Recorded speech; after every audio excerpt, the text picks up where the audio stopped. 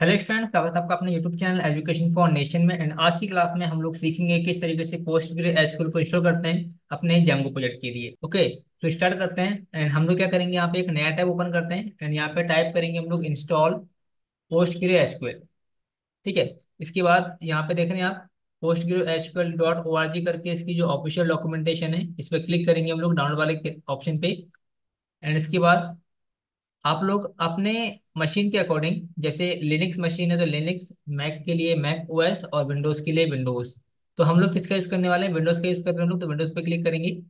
And इसके बाद यहाँ पे देख रहे हो आप डाउनलोड द इंस्टॉलर इस पर क्लिक करेंगे हम लोग। एंड इसके बाद जो भी इसका लेटेस्ट वर्जन है पोस्ट ग्रो एसक्यूएल का, उसको हम लोग यहाँ पे sixty four bit Windows sixty four bit का कर लेंगे यहाँ से डाउनलोड ठीक है, इस पर क्लिक करेंगे और आपकी डाउनलोडिंग स्टार्ट हो जाएगी। इस तरीके से आप क्या कर पाएँगे कि जो आपका पोस्ट एसक्यूएल है, वो डाउनलोड हो जाएगा। तो मैंने ऑलरेडी इसको डाउनलोड किया हुआ है, ठीक है? आप यहाँ से डाउनलोड कर लीजिएगा। एंड जैसे आप डाउनलोड कर लेंगे, इसके बाद आप आएँगे, जहाँ पे आपने डाउनलोड किया हुआ है इसको, ये हमारी एप्लीकेशन है, जो हम लोगों ने डाउनलोड किया इसके बाद राइट क्लिक करके इसको आपको ओपन कर लेना है, ठीक है? एंड कैसे हम लोग करेंगे इंस्टॉल मैं आपको सारे स्टेप बताता हूँ और इसको स्टेप बाय स्टेप आप फॉलो कर लीजिएगा, ताकि स्मूथली आपकी मशीन में जो पोस्ट ग्रो एसक्यूएल डेटाबेस है, वो इंस्टॉल हो जाए। एंड इसके बाद वेट करते हैं थोड़ा सा।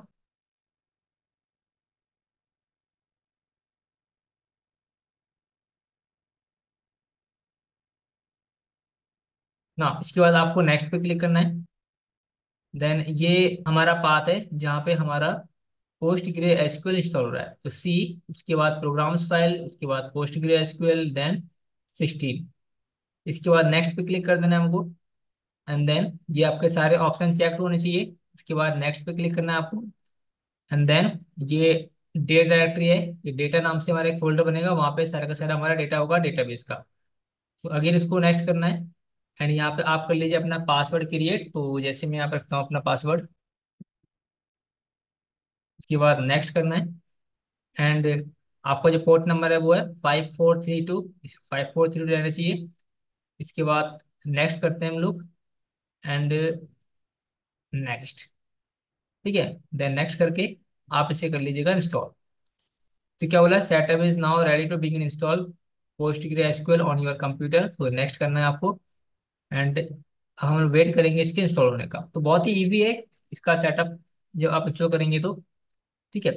अब देखो, हम लोग पोस्ट एसक्यूएल इसलिए यूज़ कर रहे हैं क्योंकि जो हमारा एसक्यूएल है डेटाबेस है उसमें हम लोग स्मॉल अमाउंट ऑफ़ डेटा को स्टोर कर सकते हैं. और जब भी हम लोग कोई बड़ी एप्लीकेशन बनाते हैं और हम लोग लार्ज अमाउंट ऑफ़ डेटा को स्टोर करना चाहते हैं अपने डेटाबेस के अंदर तो उस केस में हम लोग एक ऐसे डेटाबेस को सिलेक्ट करते हैं जो ज़्यादा पावरफुल हो एंड उसकी परफॉर्मेंस काफ़ी बेस्ट हो, ठीक है? तो इसीलिए हम लोगों ने पोस्ट ग्रे एसक्यूएल को सिलेक्ट किया और अभी तक हम लोगों ने जितने भी प्रोजेक्ट्स बनाए हैं, उसमें हम लोगों ने बाय डिफ़ॉल्ट एसक्यूएल डेटाबेस को ही यूज़ किया है, ठीक है? तो इस वाले पीरियड में हम लोग यूज़ कर रहे हैं पोस्ट ग्रेव एसक्यूएल क्योंकि जो पोस्ट ग्रेव एसक्यूएल होता है ना, वो एमबीसीसी आर्किटेक्चर को फॉलो करता है। ठीक है? अब काफ़ी लोगों को नहीं पता होगा कि एमबीसीसी आर्किटेक्चर क्या होता है तो एमबीसीसी का मतलब होता है मल्टी वर्जन करेंसी कंट्रोल अब इसमें ये होता है कि जैसे मान के चलो कि मल्टीपल यूज़र्स हैं, वो हमारे डेटाबेस को साइमल्टेनियसली हिट कर रहे हैं सेम टाइम पे। तो उस केस में क्या नहीं होगा कि हमारी एप्लीकेशन पे कोई इफ़ेक्ट नहीं पड़ेगा और हमारा जो हमारी जो एप्लीकेशन है वो स्मूथली वर्क करेगी। ठीक है? इसीलिए हम लोग इस डेटाबेस का यूज़ कर रहे हैं ओके एंड इसके बहुत सारे डिफरेंसेस हैं इसका मैं डिस्क्रिप्शन में आपको लिंक दे दूँगा आप लोग पढ़ लीजिएगा डिटेल में अगर मैं इसको पढ़ाने बैठूँगा तो फिर हम लोग अपने टॉपिक से भटक जाएँगे ठीक है? सो so, इसको आप डिफरेंसेस देख लेना कि हम क्यों यूज़ कर रहे हैं पोस्ट ग्रो एसक्यूएल डेटाबेस को as compared to SQL database तो आपको पता लग जाएगा। और आपको ये भी सीख जाओगे कि एक्चुअली में हम लोग कोई एक्सटर्नल डेटाबेस को अगर यूज़ करना है अपने जेंगो पेड में तो उसको कॉन्फ़िगरेशन कैसे करते हैं? ये सारी चीज़ें हम लोग आ, आ, इस वाले प्रोजेक्ट में सीख जाएँगे। तो वेट करते हैं थोड़ा सा ठीक है? बाकी की बातें हम लोगों ने कर ली हैं। अब बस वेट करेंगे इसका इंस्टॉल होने का। Okay so completing the PostgreSQL setup wizard मतलब हमारा कंप्लीटली हो चुका है इंस्टॉल हो चुका है इसके बाद इसको अनचेक करना है एंड देन फिनिश करना है।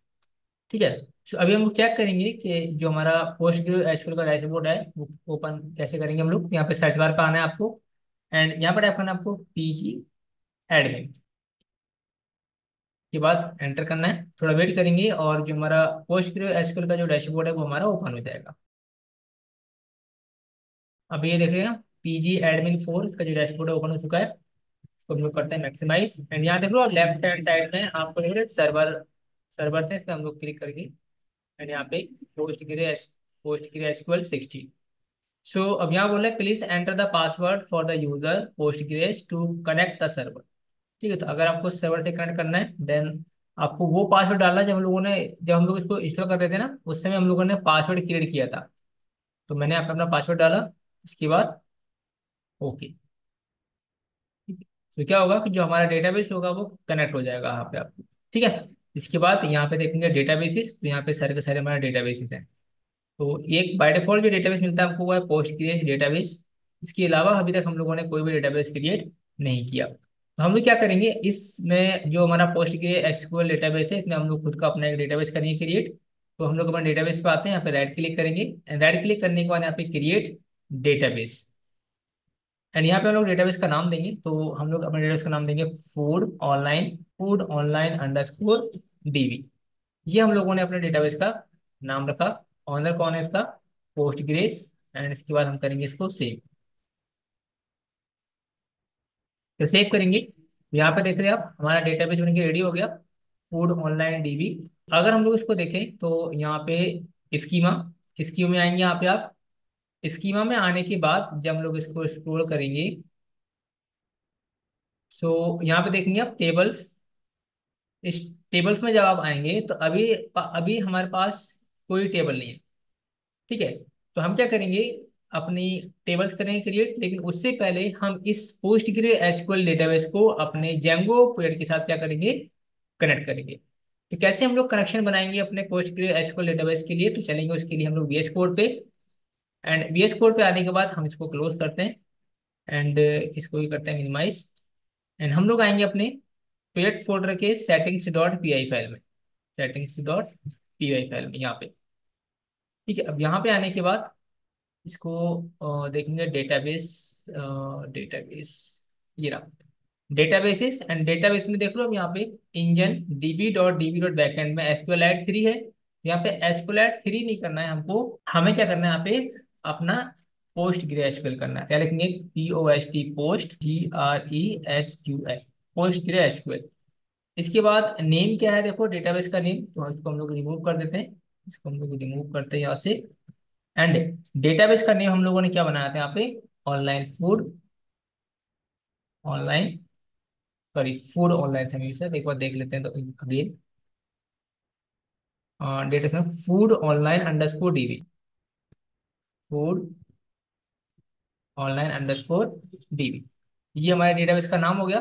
इसके बाद अगेन नेम के बाद हमारा होगा यूज़र ओके सो यूज़र क्या रहेगा हमारा? यूज़र रहेगा हमारा postgre G R E S postgres हमारा यूज़र रहेगा। अब यूज़र कैसे चेक करोगे आप लोग? यहाँ पे आओगे एंड यहाँ पे आने के बाद डेटाबेस है ना हमारा? इस डेटाबेस पे आपको राइट क्लिक करना है एंड इसके बाद प्रॉपर्टीज़ पे आना है। प्रॉपर्टीज़ में आने के बाद, यहाँ पे देख रहे हो आप, जो हमारा ओनर है, वो कौन है?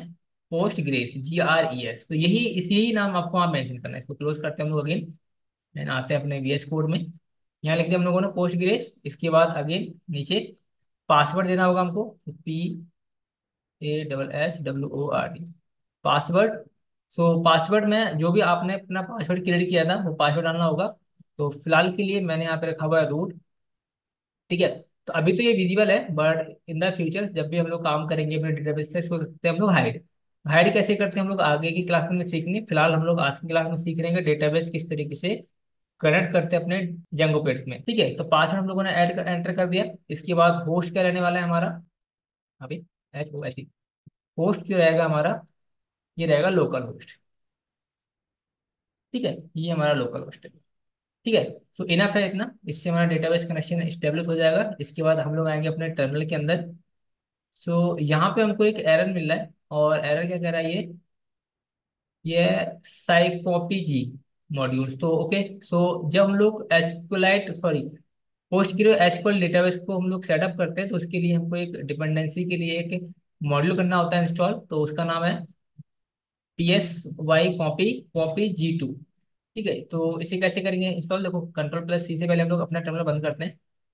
ठीक है एंड क्लियर से करते हैं क्लियर स्क्रीन एंड यहाँ करेंगे पिप इंस्टॉल एंड इसके बाद P S Y P O P G two ये हमारे पैकेज का नाम है, जो हमें करना है इंस्टॉल इसके बाद एंटर करते हैं, और वेट करते हैं इसके इंस्टॉल होने का।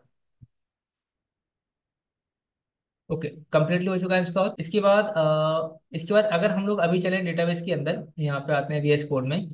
सो यहाँ पे जो हमको बाय डिफ़ॉल्ट डेटाबेस जो मिलता है हमको वो मिलता है एसक्यूएलाइट और अभी तक हम लोगों ने पोस्ट ग्रे एसक्यूएल के अंदर कोई भी टेबल क्रिएट नहीं करी। मैं अगर आपको दिखाता हूँ यहाँ पे। टेबल्स में अभी तक हमारे पास कोई भी टेबल नहीं है। तो हमें क्या करना पड़ेगा? जेंगो हमको बाय डिफ़ॉल्ट कुछ मॉड्यूल्स कराता है प्रोवाइड ठीक है? और अगर आपको वो टेबल्स आपको अपने SQL post grey SQL database के अंदर चाहिए तो उसके लिए आपको एक कमांड चलानी पड़ेगी और वो कमांड है हमारी माइग्रेट कमांड तो यहाँ पर आते हैं हम लोग, अपनी माइग्रेट कमांड चलाते हैं। लिखेंगे Python manage dot P Y migrate migrate ठीक है? इसके बाद आपको एंटर करना है। सो होगा क्या? कि जितने भी बाय डिफ़ॉल्ट टेबल्स जो होंगे आपके जंगो पेट में, वो आपके एग्जीक्यूट हो जाएँगी।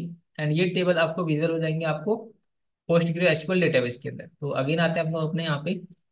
एंड इसके बाद इसको हम लोग एक बार रिफ्रेश कर लेते हैं। रिफ्रेश कैसे करोगे? डेटाबेस हमारे यहाँ पे।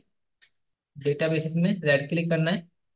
यहाँ पे डेटाबेस एंड यहाँ पे रिफ्रेश तो रिफ्रेश करोगे। सो अभी हम देखेंगे यहाँ पे स्कीमा स्कीमा में आने के बाद आपको आना है टेबल्स में। एंड टेबल्स में देख रहे हो आप? अब आप हमारे पास दस टेबल्स है। ऑथ ग्रुप ठीक है एंड परमिशन एंड यूज़र तो ऑथ यूज़र में अगर हम देखें तो अभी हमारे पास एक भी यूज़र नहीं है ऑल रोज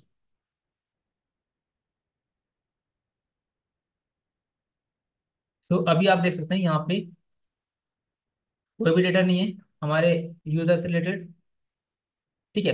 तो ये कब करेंगे? क्रिएट जब हम, अगर हम लोग अपने वेबसाइट पे आते हैं एंड यहाँ पे, अगर हम लोग अगेन क्या करते हैं?